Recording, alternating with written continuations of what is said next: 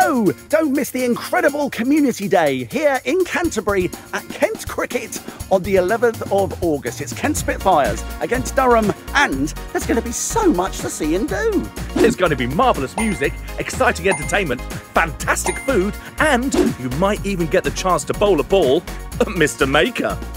Here we go.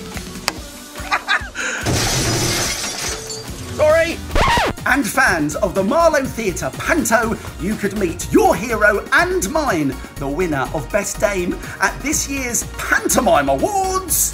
Me! That's right. And it's all in support of the fantastic Kent Cricket Community Trust, guaranteed to be a brilliant day out for all the family. Sunday, the 11th of August. Kent Spitfires against Durham, and a fantastic community day. Don't miss it. Smile and wave at the camera. No, you don't say that. You just do it. Huh? Oh, it's a stage direction. Yeah. Sorry. It's okay.